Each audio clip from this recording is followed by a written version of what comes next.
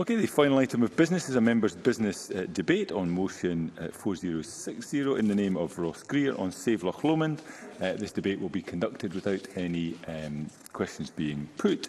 Uh, again, I'd ask members who wish to participate to press the request to speak buttons now as soon as possible. And I invite Ross Greer uh, to open the debate for around seven minutes, Mr Greer.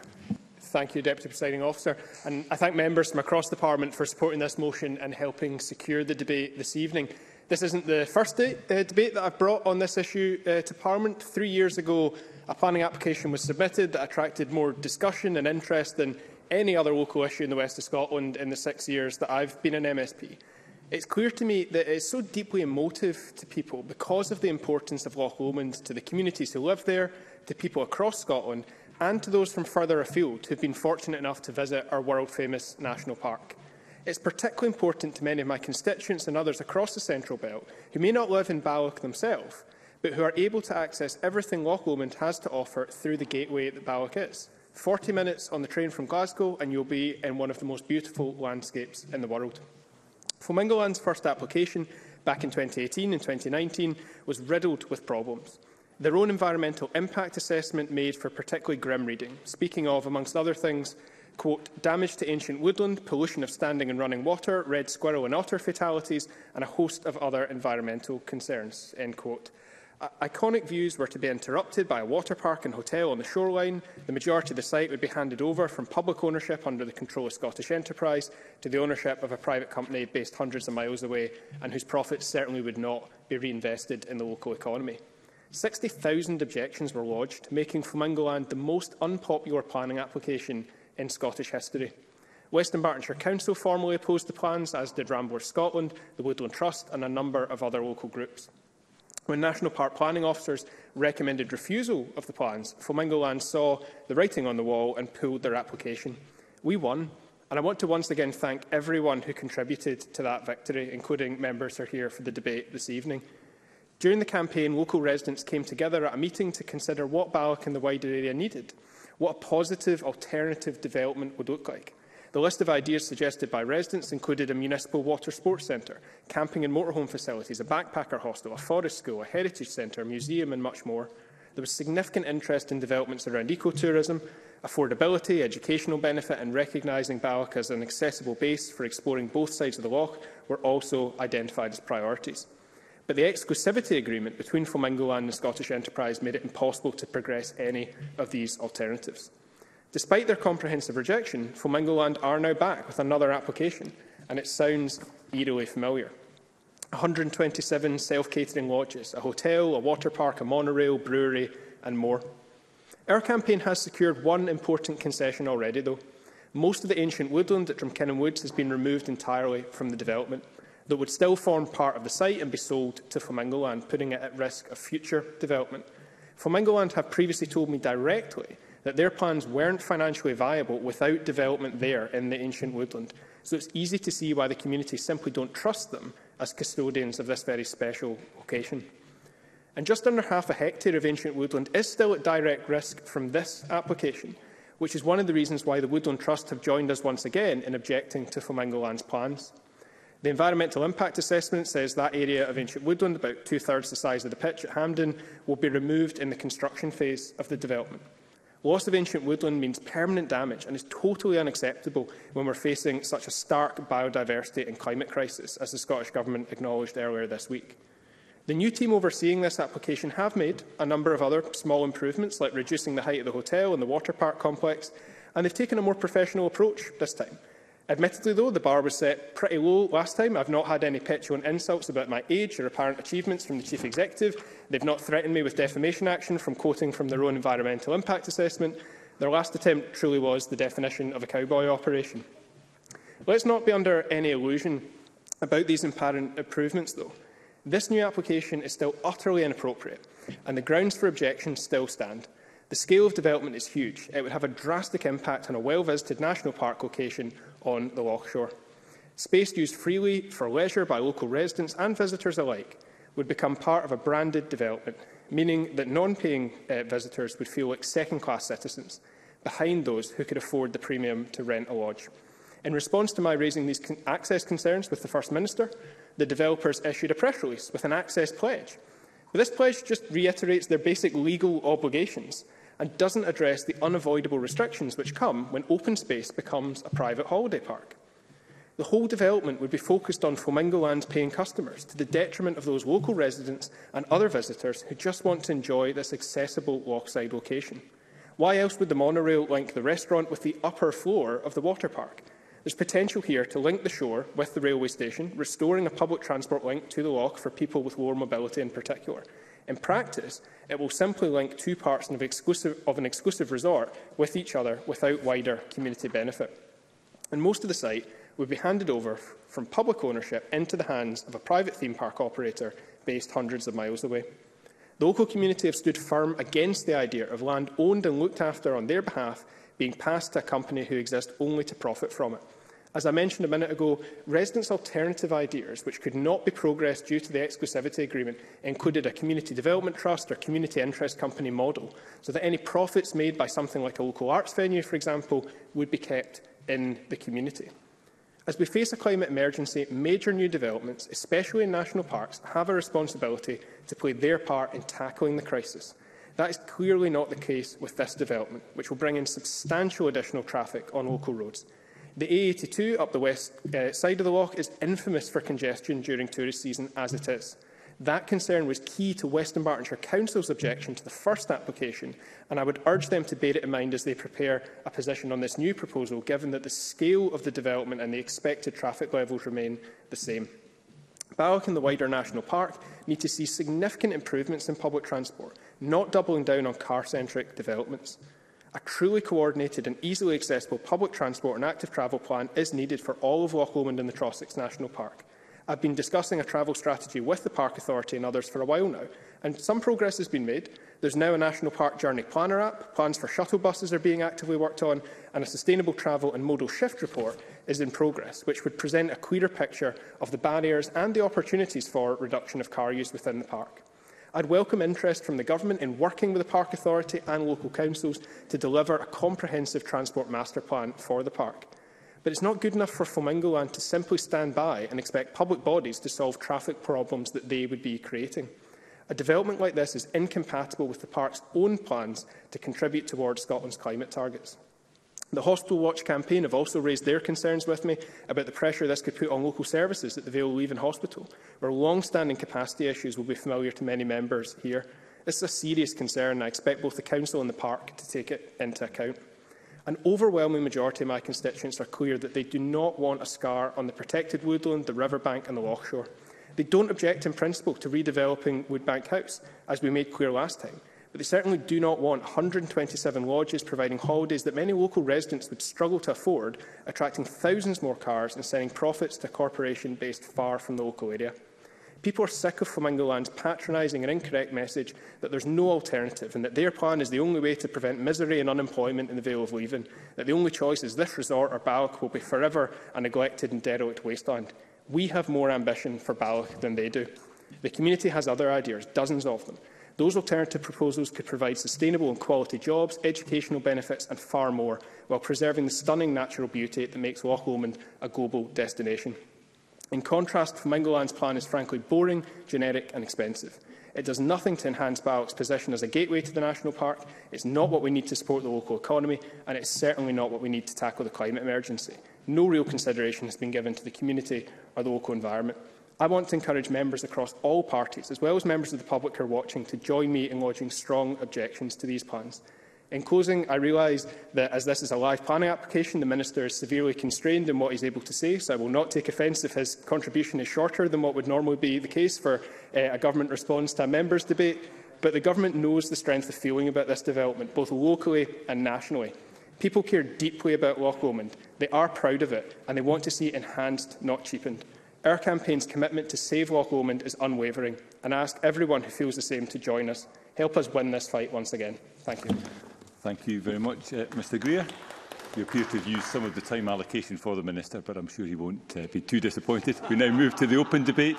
I call Rona Mackay will be followed by Pam Gosell uh, for around four minutes, please, Ms Mackay. Thank you, uh, Presiding Officer. I'm pleased to be speaking in today's debate and thank my colleague Ross Greer for raising this very important issue in the Chamber. As Ross Greeris explained, this is the second application that's been lodged by this developer, with the first application reportedly having been withdrawn following a record 60,000 objections after a robust campaign from the local residents and the Save Loch Lomond campaign. Presiding officer, I'm proud to say that I love Loch Lomond. I've been going there for as long as I can remember for family days out, celebrations, dog walks and just generally to soak up the peace and beauty of this jewel in Scotland's countryside. Nowadays, been just a 30-minute drive from my constituency of Strathkelvin and Bearsden, I try to get there as often as time allows. Loch Lomond and Trossachs National Park is home to 21 Munros, 19 Corbets, none of them climbed by me, I hasten to add, and 22 large lochs, and that's pretty phenomenal by anyone's standards. Presiding officer, it's clear the Flamingo land developers have made a concession in order to progress their plans, that being to move the proposed lodges in Drumkimmon Woods to another part of the development. They're still there, of course, just not on that site of the woods. Um, which seems to prove the fact that the developers had no real thought for the aesthetic beauty of the area in the first place when they submitted their original propo proposals. To be clear, presiding officer, I'm not anti-development and I don't want to keep Scotland in aspic. But I don't believe that this, the level of this development is appropriate for an area of such natural beauty. The developers may argue that it will attract tourism, tourism and money to the area, But I'd argue that a more modest proposal would do that, and Ross Greer has outlined um, uh, that very well. Indeed, in my experience, tourists flock to the national park whenever the sun shines, and in doing, it's doing very nicely without a fairground attraction. Indeed, after lockdown restrictions ended in 2020 and 21, there was a 200% surge in traffic heading for Loch Lomond, and on several occasions, cars were turned back from approaching Luss due to the sheer volume. Loch Lomond will always attract tourists and generations of family who regularly flock there to experience the wonder of, of that, that area. I want people to come to Scotland from all over the world to enjoy our wonderful lochs and tourist attractions with tasteful facilities that we've all come to expect. All of this is crucial, presiding officer, but that's before we even mention the inevitable environmental damage to the area, the disruption to wildlife, the pressure on local roads and restricting public access to, to Drumcommon Woods, as Ross Greer mentioned. There's also the principle of selling off precious public land to a private developer for profit. Is that a good thing? I don't think so. Do we want to sacrifice a significant part of our Loch Lomond and Tro Trossachs National Park for big business? I certainly don't. Presiding officer, Loch Lomond is one of Scotland's greatest landmarks and maintaining its integrity must be of paramount importance. And furthermore, our environmental heritage should not be sullied by big business intent and making profit. Rejecting these submitted proposals will send a clear message to developers. Leave our bonnie banks alone and let nature be the attraction. Thank you. Thank you, Ms McKay. I now call Pam Gosel to be followed by Jackie Bailey. Uh, up to four minutes, please. Thank you, Presiding Officer.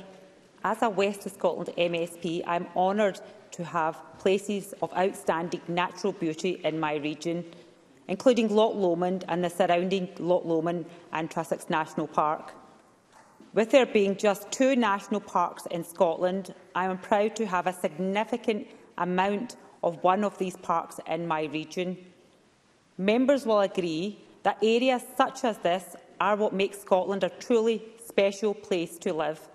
And protecting these areas and the communities within them should always be a priority. I am therefore clear that proposals such as this should only go ahead when the concerns of local communities have been addressed. Yeah.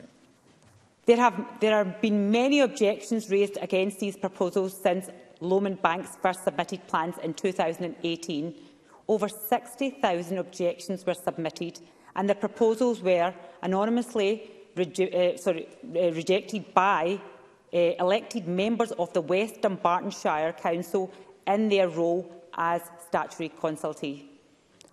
But it is positive to see that in their new proposals, Lomond banks have tried to address some of the concerns and were raised, that were raised previously and are engaging with the communities and these plans will affect to ensure they develop the development is able to deliver its potential benefits to the local economy. Whilst I acknowledge the £40 million investment with economic benefits from Lomond Banks, I still have concerns over six particular areas. The first, anti-social behaviour and problems with littering in and around Ballock is already a serious problem during the summer months and residents are rightly concerned about this becoming even worse if the development goes ahead. Secondly, there also needs to be more safeguarding of the natural environment surrounding the proposed site. There should be further assurances that, will be, that there will be no pollution to Loch Lomond itself. Thirdly, Despite Lomond Bank stating that Drummondkin Woods will be protected from the development, the Woodland Trust has warned that ancient woodland may still be damaged by these proposals. And fourthly, developments such as this should also come with an economic development plan and truly that works for interests of local economy. It is possible to create a system that complements existing local businesses instead of competing with them but it remains to be seen in the new proposals that, that this balance will be achieved. Fifthly, we need to see a well-thought-out workforce plan for the site that works alongside the existing skills pool and takes account of existing shortage of local labour. And last but not least, these issues are in addition to many concerns that have been raised about the already stretched local infrastructure, including the local road network. In conclusion, presiding officer, when done properly, developments such as this can be a great benefit to all parties. But this can only happen when these projects are inclusive and include local residents and businesses. Going forward, I would urge Lomond banks to continue to work constructively with local communities to address these concerns and I would encourage concerned residents or businesses to make sure that their views are known. I am not against these types of developments by default. In fact, I try to support them where possible, but each development has to be the right for local communities and should be considered on a case-by-case -case basis. I am no stranger to working with developments that have a positive overall outcome, and I hope that Lomond Banks will work around the points that I have raised today they take these plans forward. Thank you very much, Ms Gosal. I now invite uh, Jackie Bailey uh, to contribute for around four minutes to Ms Bailey. Thank you very much, Presiding Officer. And let me start by congratulating Ross Greer on securing debating time to explore the current planning application by Lehman Banks, most commonly known as Flamingo Land, to develop West Riverside at Balloch. Before I come on to the application itself, let me just note that the land belongs to Scottish Enterprise, a public agency answerable to Scottish ministers. And although I signed Ross Greer's motion and was happy to do so, I am not, as a matter of principle, opposed to the sale of public land for the right development. The question, of course, is whether this is the right development for the gateway to Scotland's first national park and, in my view, the most beautiful national park in Scotland.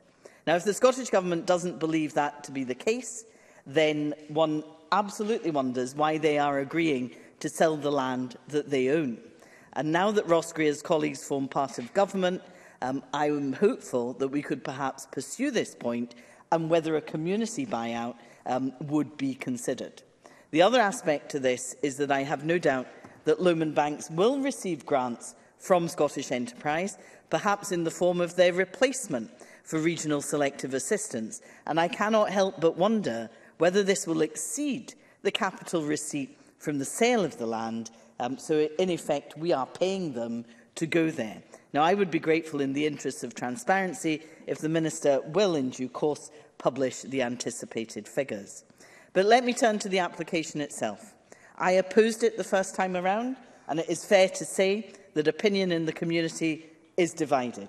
Will it bring jobs? Will it help local businesses? Does that outweigh environmental concerns? What about our local roads? Will they cope? These are just some of the questions in people's minds. And that's why I'm engaging in a local community consultation to get people's views, and I am happy to share the results of that on a cross-party basis. The application itself is not substantially different to the previous application three years ago. I think it's fair to say that the key difference is the removal of the 32 self-catering lodges previously planned for Drumkin and Wood. Nevertheless, concerns remain about Drumkin and Wood, captured by the briefing from the Woodland Trust and indeed in correspondence I have had from local residents about the impact of the development on a popular local area of important ancient woodland. That's a significant concern that needs to be addressed. Jobs have always been a key consideration for me. The project will apparently create 80 full-time jobs, 120 part-time jobs. They've agreed to pay the real living wage, which is an improvement on their previous position, but I would want to see much more robust pledges um, being developed about local jobs, about fair work, developed in the coming weeks. But I also want to see guarantees on the use of local supply chains and partnerships with other local tourism tourism businesses. Whilst that may not be part of the planning process, it is a critical consideration for the community and we should not accept anything less from any developer at all. There is a question for me about density. We are talking about two hotels, 127 self-catering lodges and apartments. That is a lot of visitors, not just at the height of the season, but is common with these type of projects all year round. The local roads infrastructure is poor. I have lost count of how many times I've been stuck on the A82 in bumper-to-bumper -bumper traffic. Adding any additional volume of traffic causes me concern. And I know that there is a railway station at Balloch, and I do like plans for the monorail. But realistically, if any of us was going for a self-catering holiday, we would take our cars. We absolutely would and that will have a negative impact on infrastructure. So I will weigh up the advantages and disadvantages of the application, but I will be absolutely influenced by the views of local people. Presiding officer, this application falls to the National Park to be considered. It would be helpful to clarify what role Lorna Slater as the Minister responsible for National Parks will have in this, or whether it will fall to Tom Arthur, who has responsibility for planning. I'm not interested in commenting on the substance with them, but I think the process is important, particularly given the interest of the Greens and their position in government. In the meantime, presiding officer, and in conclusion, it is right to carefully consider what local people tell us that they want to happen, because after all, it is their home. Thank you, uh, Ms Bailey. Taking a leaf out of Ross Greer's book there at the end, um, I now invite the Minister to respond to the debate uh, for around seven minutes, uh, Mr Adam. Uh, Good luck, presiding officer, with the seven minutes. Uh, thank you for this opportunity to close uh, this debate on the motion brought here by Ross Greer. Uh, ironically, it's my first members' uh, debate to uh, close as a minister, and as everything in my career within this chamber, it's always fraught with challenges. But uh, I will be unable to take any interventions from colleagues, mainly due to the fact, as Mr Greer already stated, that it is a live planning application.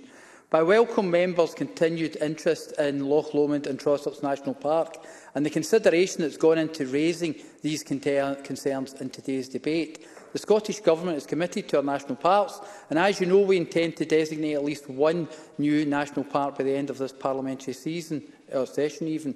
It is, of course, for members to bring forward whatever motions they consider appropriate for consideration at members' business. In this case, because the members' business debate is focused on a live planning application, it raises procedural difficulties for myself and the Parliament. As required by the Scottish Ministerial Code, ministers are restricted from uh, commenting publicly on live planning applications, and this could potentially prejudice the final decision. The challenge of such debates was the subject of correspondence in 2014 between Joe Fitzpatrick, as my predecessor as Minister for Parliamentary Business, and uh, the Stuart Stevenson in his capacity as the then Convener for Standards, Procedures and Public Appointments Committee. The strict limitations on the Scottish Government in commenting on live application was noted. However, the committee was unable to identify changes to procedures to address this issue without restricting the topics which members could raise at members' business. Applications for planning permission are dealt with in the first instance by the relevant planning authority. In this case, uh, that is the uh, Loch Lomond and Trossachs National Park Authority.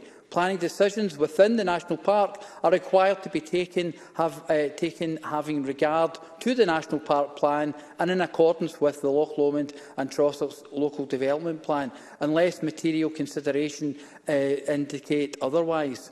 Recognising and respecting the important role of the planning authorities in making decisions on future developments of their area It is rare for ministers to intervene in a live planning application and they will only do so where matters of national interest are at stake. Members will be aware that the Scottish Government is currently working towards a finalised National Planning Framework NPF4 to be laid before Parliament for approval before adoption by Scottish Ministers. The draft NPF Uh, explains how we will work together to build sustainable, livable, pro productive and distinctive places. Addressing climate change and nature recovery are key priorities, and once finalised, MPF4 will help provide a clear policy framework for decision-makers. You will, presiding officer, appreciate that I cannot comment on the merits of this live application, and once again, I thank everyone for giving me the opportunity to take part in today's debate. Thank you very much, uh, Minister. That concludes the debate and I close this meeting of Parliament.